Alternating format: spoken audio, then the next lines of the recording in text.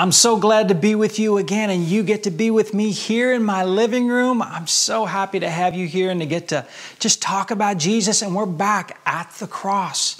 This is part four, and so exciting as we've talked about so far. Part one, we talked about how that Jesus used the cross to redeem us from the curse into the blessing. We talked about the passion of the Christ, Jesus' death and his resurrection.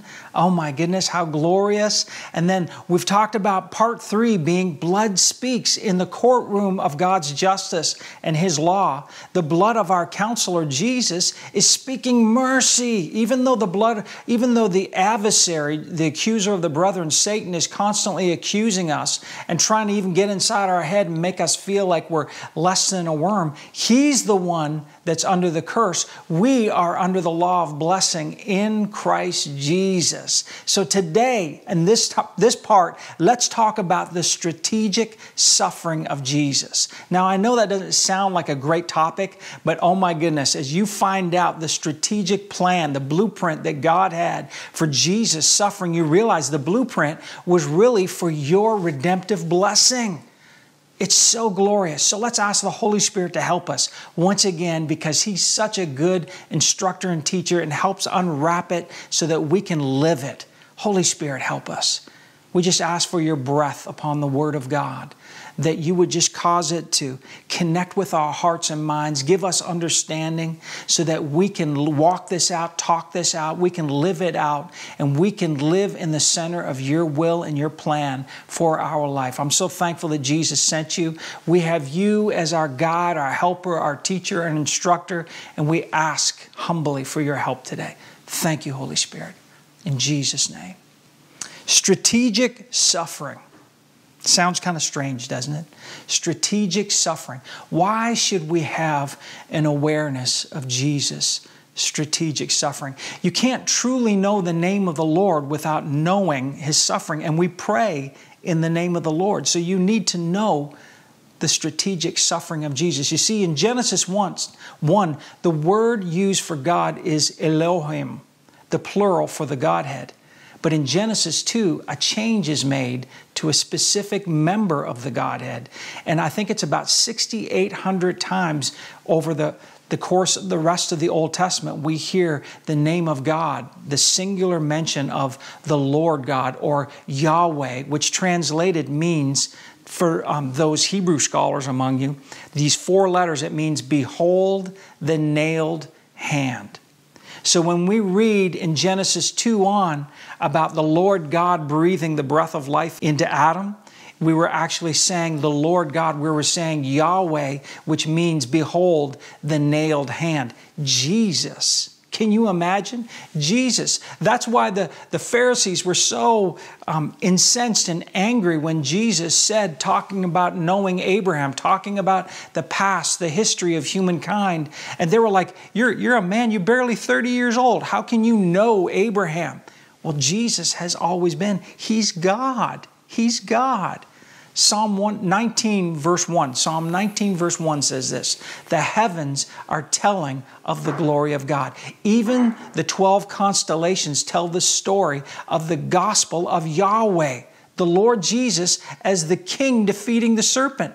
Look, the behold, the hand has been strategically prophesied into our life from the very beginning of time. So let's take a look at the premeditation, the planning and strategy of the cross. God is such a planner, He strategizes. Centuries before Jesus ever walked the path to Calvary and suffered the cross, the Word of God through the prophets foretold the blueprints of God's design for Jesus' suffering. It was truly God's blueprint, schematic, a tactical war strategy to deliver you and me from death and bring us life, to deliver us from the curse and give us the blessing, His amazing grace. Let's take a look at Isaiah 53, verse 10. It's a famous portion of Scripture. Yet it pleased the Lord to bruise him, talking about Jesus. Yet it pleased the Lord to bruise Jesus. He has put him to grief. When you make his soul an offering for sin, he shall see his seed, he shall prolong his days, and the pleasure of the Lord shall prosper in his hand. some translations say it was the Lord's good plan or it was God's good will to put his son to grief. God the Father counted the cost, considered you worth the price, and sanctioned this strategic suffering. He sanctioned His mercy to redeem you, to redeem me. Jesus' suffering was intentional, it was on purpose.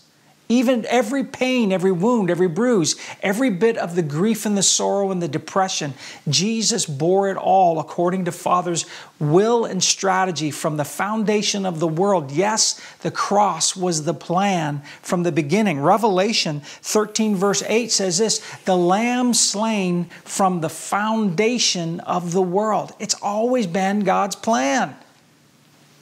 Wounded for our sin, bruised for our iniquities. You've heard that scripture before.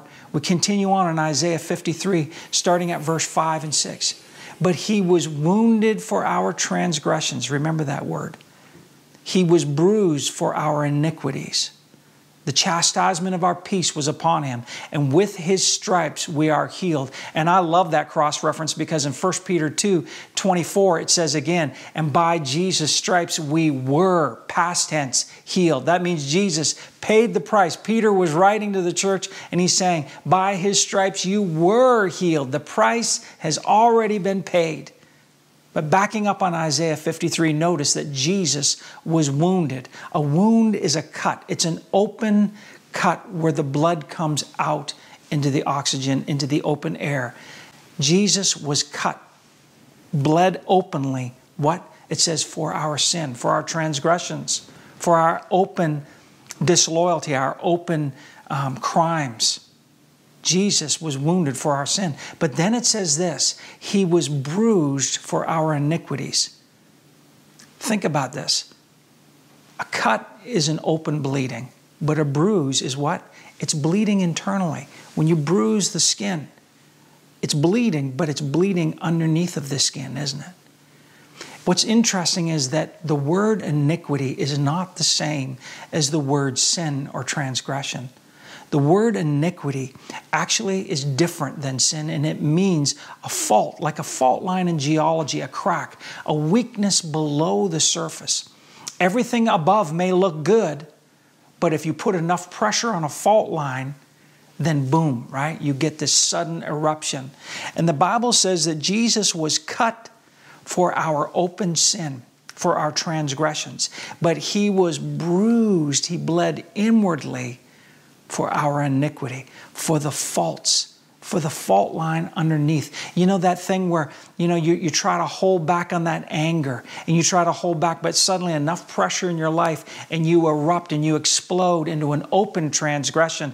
But the thing is, that fault line was always there. You're always having to try to exercise your willpower to suppress it. Maybe it's a desire, maybe it's a, a wicked desire on the inside, a perversion on the inside, and you're doing your best. You don't want to be condemned. You're trying to suppress it, but then enough pressure happens in life, enough temptation, and boom, suddenly you find yourself doing what you don't want to do. You're openly transgressing, but all the while, under the surface, that fault line was there. You can build the most beautiful home, even a castle, but if you put it on a fault line, everything can look really good until there's enough pressure on the table, on the geological table, then suddenly that whole house can be eaten by the earth. It can literally be consumed by the earth, right? If the fault line breaks open enough, the whole castle can dump into it. And that's the way some people's lives feel. Just the right amount of pressure, and what's under the surface, suddenly there's a disaster. People are like, Well, I didn't see that coming. Well, I didn't know Mary would do that. I didn't know that John would do that. I can't believe Stephen did that. The fault line. Jesus was cut for our open sin. But Jesus was bruised, bruised. He bled inwardly for our iniquity. Oh my goodness. Doesn't it excite you to think about the strategy that God intended for His only begotten Son to suffer so that you and I might be redeemed from all this stuff? But you see, until you know it, you can't have it. You can't possess, you can't activate something that you have no knowledge of. You feel like you've got control of that anger, but then suddenly, right? Jesus bore the crown of thorns. See why? That's that was a specific intentional suffering Jesus bore. Why did he bear the crown of thorns? We know it was intentional suffering. So why? Psalm 8, verse 5 says that we were meant to wear a crown of honor and glory. Jesus wore the crown symbolic of the curse to get you and me back the crown of honor and glory that we might be the sons and daughters of the Most High God. Jesus' hands were pierced. Why? To redeem the works of your hands back from the curse. Jesus' feet were pierced. Why? So that He could redeem back the path of life that you could walk, that you would have permission to walk the path of life and never have to leave it again.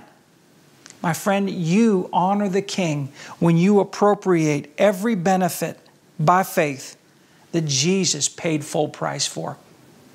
So, I want to take you to a portion of Scripture that has been so wrongly interpreted in the past by people in the church. It's called Pick Up Your Cross and Follow Jesus. Now, before you tune me out, listen to this. I'm going to bring it back to the context that Jesus intended it to be in. So, this isn't going to be uh, a religious exercise. You're going to enjoy this. Come on with me for a second. Matthew 16, verse 24. Jesus said to his disciples, If anyone desires to be my disciple, let him deny himself and take up his cross and follow me. You know, I've, I've been in churches. I remember being in this church in Florida, and I won't mention their name, but Pamela and I were doing ministry in this church in Florida, and the pastor got up and he and he said that verse with such an angry, fist pounding. He was like, "You gotta deny yourself. You gotta take up your cross." I mean, it was it was even scaring me. It was just so awful. But that's not how Jesus said it. Jesus was saying it this way. It's like he's saying, You get to deny your cursed self. You get to be free from your destructive, cursed, broken, fault lined self. You get to pick up your cross, associate with me, and follow me. You get to do this. I've heard so many people use this command with the wrong tone, erroneously, abusively, and just flat out wrong. So here's a few things that you've got to know about the context to understand what Jesus is saying. First of all, just before that, Peter had rebuked Jesus for even thinking about suffering and dying on the cross. Imagine that. Peter the apostle telling Jesus, Oh no, you're not going to die on the cross. No, you're not going to do this. And you remember Jesus had to turn his back on Peter and say, Get thee behind me, Satan. You don't savor the plans of God. God had a strategic plan. So Peter got nailed for that one. Remember Galatians 3:13, cursed is everyone who hangs on the cross. So to the disciples when they heard Jesus saying, "Yeah, I'm going to have to die on the cross for you guys." They were like, "Oh my goodness, a Jewish man hanging on the cross becoming a curse. Oh, God forbid, Jesus, you can't do that. Us Jews, we if you're going to die, die some other way but not hanging on a tree." You see, this was abhorrent for any Jew to even imagine a king savior dying on the cross. It was against their law. But Jesus came to fulfill the law by paying the price for you and me. The ancient Hebrew letter Tav looks exactly like a cross, and it means the sign of the covenant. Jesus came to give us the sign of the covenant. So when he was talking to them about associating with the cross, with his cross, he was saying, I want you to associate, buy into my new covenant, the better covenant. The Hebrew word for covenant is brit, and it means the cross of my son. Coincidentally, right? Isn't that beautiful? Jesus was telling Peter and his disciples, not only are you going to have to be good with me dying this way on the cross, but you're going to have to associate with me dying on the cross and pick up the sign of my cross to believe in me. It's all about the cross, he was telling them to be my disciple, you're going to have to associate with this price I pay at the cross. And so you're going to have to deny your way of thinking, your old sins. You're going to have to deny all the stuff in your life that doesn't work and become a shareholder in my victory at the cross. But see, they couldn't see it as a victory at that point. It was hard for them to look past their Jewish customs. Jesus had to be cursed for you to be blessed. To pick up your sign of the covenant, you have to agree with these terms. His death on the cross buys your freedom. It came at a high price. Beloved of God, you could die a million deaths on a cross and never accomplish an iota of what Jesus did perfectly, strategically, fully. Did you hear that? Your suffering cannot add to the completed full work of God through Jesus at the cross. That means that means Jesus said when he said it's finished, he meant you cannot add to his perfect sacrifice, his redemptive work at the cross with any other suffering. I, I get frustrated sometimes when I hear people even in the ministry, other pastors and missionaries start talking about their suffering. Your suffering, the only time Paul ever did that was when he said, look, he says, I'm going to talk like a fool right now. You know, I, I had this done to me and I suffered this. And he said, remember, I'm talking like a fool. That's the only time we wouldn't even know what Paul had suffered, except that he said, I'm about to talk like a crazy fool. Because why? It's all about the cross of Jesus. Jesus finished the work. Our suffering cannot add anything to his work at the cross. The whole book of Galatians from Paul is basically the apostle calling the people stupid and ignorant for thinking that they could add to the work of cross. You cannot add to Jesus' work. It's perfect, it's flawless, it's wonderful. So, what does Jesus command us to do in picking up our cross and following Him? What does that really mean? Well, we go back to His Last Supper, Mark 14, verse 24, and He said this This is my blood, the new covenant, which is shed for many. It's where you come to love the mark of His sign, right? We love the cross. It's the new agreement. It's where we say our best is never good enough. I need Jesus' work at the cross. That's what associating with the cross means. It's where you say, My worst is never so bad that his work on the cross can't save me. It's where you stop being me minded and you become totally, it's all about Jesus minded. It's where you stop condemning yourself and stop praising yourself. There's ditches on both sides of that, but both of them are wrong. It's where it becomes all about Jesus. It's where you stop saying that you're not worthy and you start saying, because Jesus is worthy, I am the righteousness of God in Christ Jesus. For some of you, that's a difficult thing to say, but you have to pick up your cross, deny your old self, and recognize your reborn self through the wounds of Jesus. That's associating with His cross. That's picking up your cross and following Jesus. It's where you stop allowing your suffering to compete with His suffering. Stop talking about what you're enduring. Talk about what Jesus has already accomplished and bought for you. Picking up your cross is to completely associate with and believe on His work. You get to deny your broke down, sin filled, cursed self.